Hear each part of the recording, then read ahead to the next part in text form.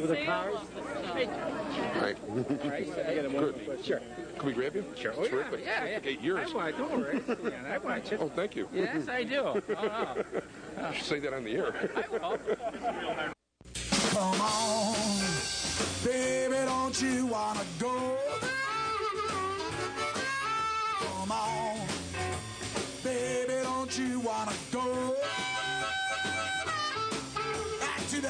That city, sweet home Chicago. Two two's four, four four six. Come on, baby, now get your business fixed. Come on, honey, don't you? Hi, I'm Marty Levinson. Welcome to the Northtown News Magazine. Thank you so much, Marty. Avi Meyers here, Northtown Neighborhood News Magazine. A presentation of Sonny Hersh and myself. Sonny Hersh, of course, is the chairman of the 24th District Advisory Committee. Um, and you can check out the 24th District and CAPS programs at caps24.org. Check out our show on the World Wide Web at ntnm.org, where you can see all our shows on YouTube uh, from the link on uh, Sonny's site. And I urge you to do it. I also want to thank Sonny for this wonderful two camera setup. And one of my favorite guests, as you know, about as favorite a guy as I have on the political scene, a person who has not been on the air since he was elected. I don't think so. Maybe once to support somebody, maybe. Uh, I was on before Yeah. uh, the aldermanic race. But the fact Support Alderman is, somebody I'm so pleased is in his fourth term for the Water Reclamation District, uh, the president of the Metropolitan Water Reclamation District of Greater Chicago, and the person who's responsible for Chicago having the second best water of any major city in the country, Terry O'Brien. Avi, how are you? Good, thank you. Who's if got the were- first best? Well, actually, I don't know that, but I do know that if, if the people running the, the water filtration plant, you were running that, it'd be first. Okay. Okay. Well, we're not running it. Yeah, we know. And speaking of water, let's talk about water first, okay? Now, I happen to just drink tap water, okay? I don't get into this bottled water nonsense. And, you know, Andy, Andy Rooney, not too long ago on 60 Minutes, Did did, this special. thing. Yeah, you saw that? Yeah, What he did? yeah. And he talked about how all these ladies are paying a buck 35 for Poland Springs or whatever it was. And when tested out, it had nothing going for it and wasn't any better than the stuff they were doing in Manhattan, which is nowhere near as good as anything in Chicago. So, you know what? As much as I like bottled water, I don't. I don't drink it. Okay, I have a bottle of Perrier. Okay, now, um, I got this bottle from the Hebrew Theological College in one of their gift basket things. This bottle is a minimum of nine years old. So it's aged. It is aged. Okay, now Sonny drinks bottled water. He's welcome to participate. So I've got a glass here, and Sonny, this is for you if you want. if it's nine years old, I I've know got if a I want to glass for you, drink it. here's the thing. I Have you wanna, tested it? I've been well. Here's the point. This is still sealed. You can. Yes, I see Can that. you certify? I see that. Okay. I'm not certifying, but I can see that it's And sealed. by the way, I don't know that any of us are going to even take a sip of this. Is that an S-Rog on the front? Uh, it could be, but Sonny asked if it was an S-Rug on the front. But the fact of the matter is, uh, I have to make sure I give myself enough time to be able to get to the washroom after the interview, in case I'm wrong about this. But we'll see. I'm going to open this up because, frankly, it's taking up pantry space. You take the first whiff. okay. Okay, I'm going to pour. Well, you know what? Got a little uh, lemony, little bubbly to it. Little, yeah, it's got some flavor to it. Um, you want the first one or here? you don't have to drink it. We'll just kind Sure. of whiff it. Right from Bubbly Creek. Now this is the Perrier. So It does have uh, carbonation to it, no question. Yeah. Okay. And Sonny, I'm going to ask you to walk in here to at least be able to smell it and test it because you do drink bottled water, which I think is a complete waste of your money. I drink regular bottled water, not Well, regular bottled water is a complete waste of your money when you could be filling those same bottles with good old Aqua Pura from the Chicago Water Reclamation District and filtration plants. Chateau, Michigan.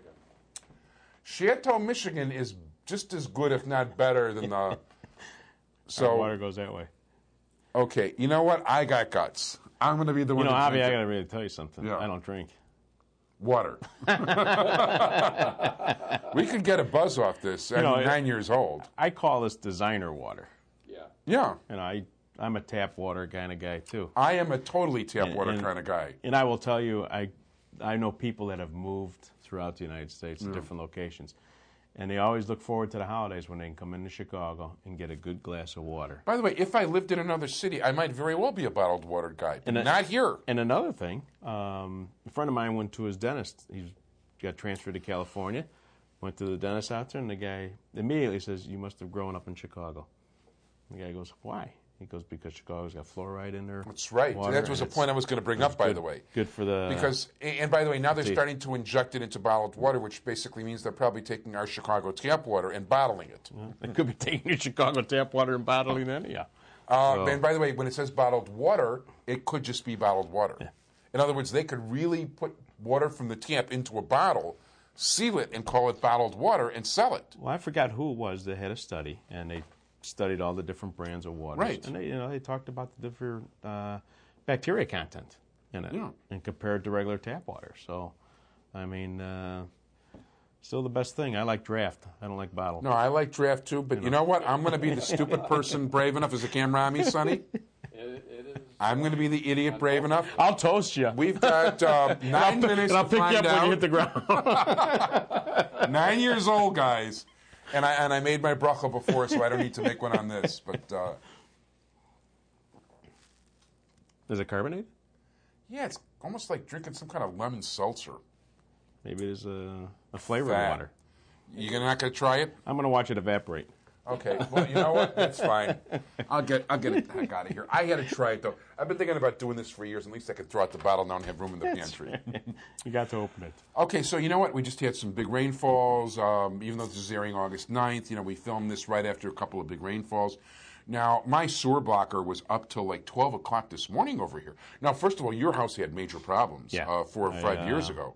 You have any problems? This, you were in Ireland, too. No, I uh, actually when I came back, I had uh, well, I put overhead sewers in after I had the four events that I had in my basement. One in which buckled my floor because of the pressure of the ground, which I had to replace my basement floor.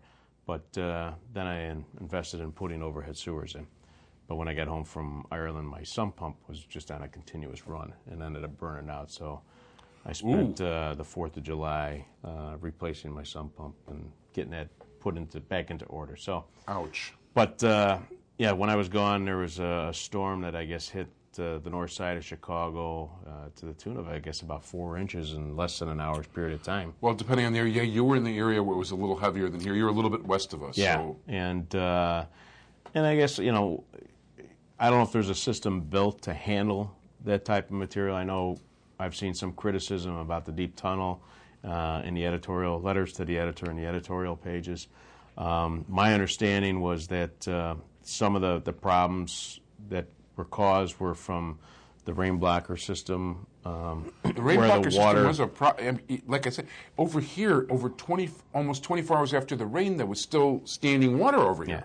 yeah, and, and and I'm not blaming the rain blocker system. And I had system. mud in my bathtub this Yeah. morning.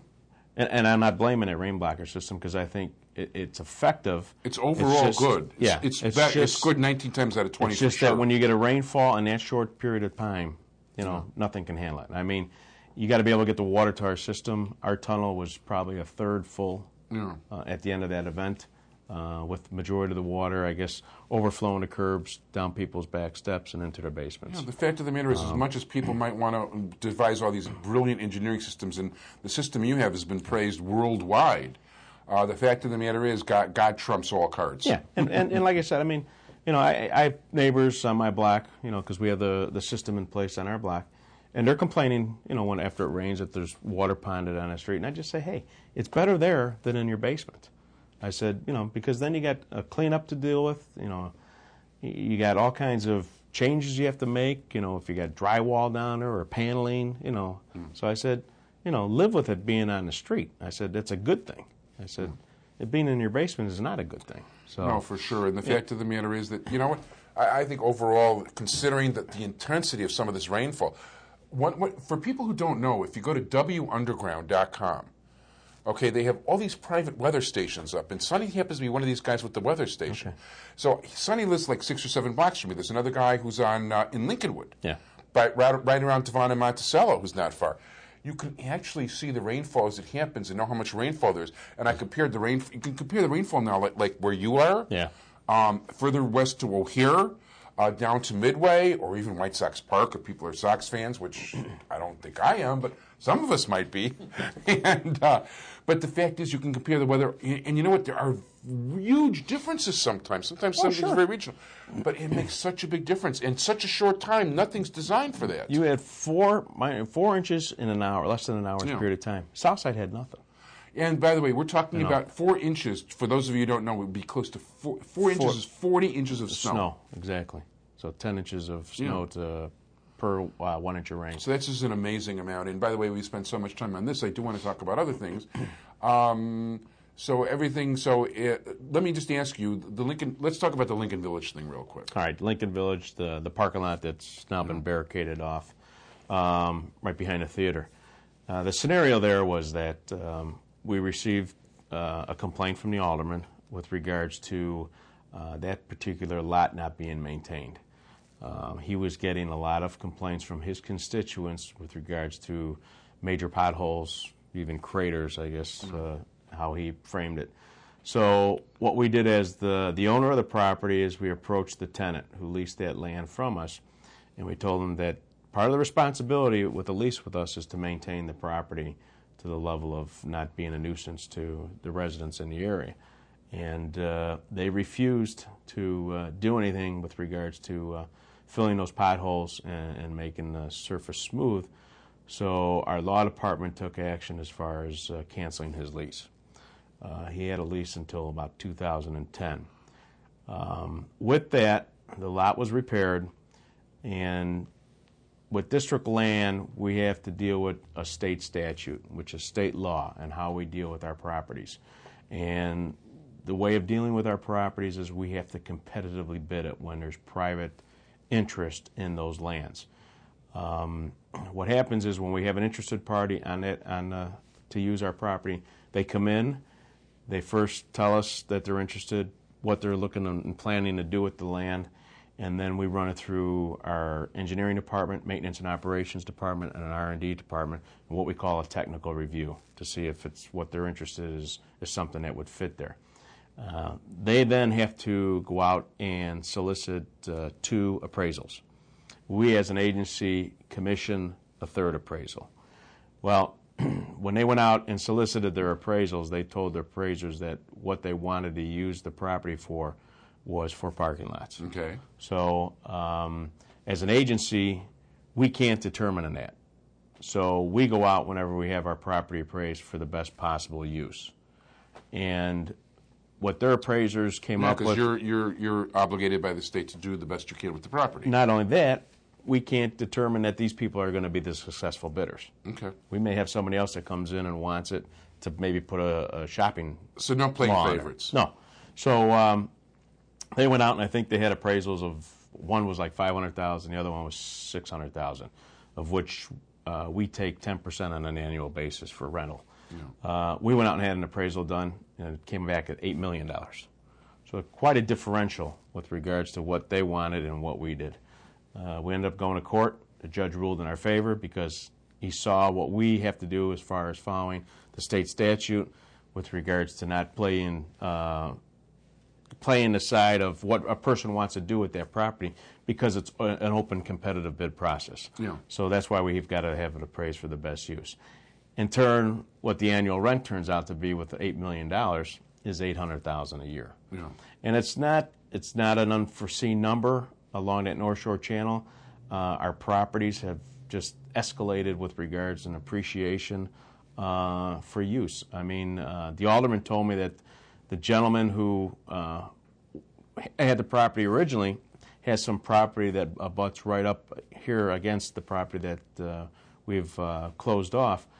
And he's asking, and his property is only a third the size of ours, and he's asking $4 million for it, my understanding. is. So, I mean, it's not unreasonable. It's not an unreasonable figure with regards to the $8 million. We, we uh, sold land to the public schools there at um, Bryn Mawr and Kedzie, Yeah. uh, two acres, and that's going back probably about 10 years ago, and that was about a million. Oh, for that four. super high school, for yeah, the North Side yeah. uh, Academy Prep, I think is what it's called. So Yeah. it's not an unusual number um, per acre with regards to the, the value of the land now. You know, I um, would you sell to public schools in general, or No. Uh, well, we did then, and but then you don't now, and that's no the policy. And and go ahead. As much as I want to let you talk further and talk to you further, I've got 37 seconds. So, first of all, hi, Kathleen. I should have said hi earlier. To all of you out there who watched me drink this nine year old water, it was a mistake. Promise. Trust me, it was a mistake. I shouldn't have done it. He's still sitting. I want to thank, um, but not for long. I want to thank Terry O'Brien, Water Reclamation, Metropolitan Water Reclamation. Do people like to call you? They call. 312-751-5700. I want to thank my entire technical crew, Sonny Hersh. Thanks so much for joining us. Join us again next week when we'll have a whole bunch of new shows. Thanks, everybody. Thank you, Terry. Thank you, Avi, for having me. Bye bye.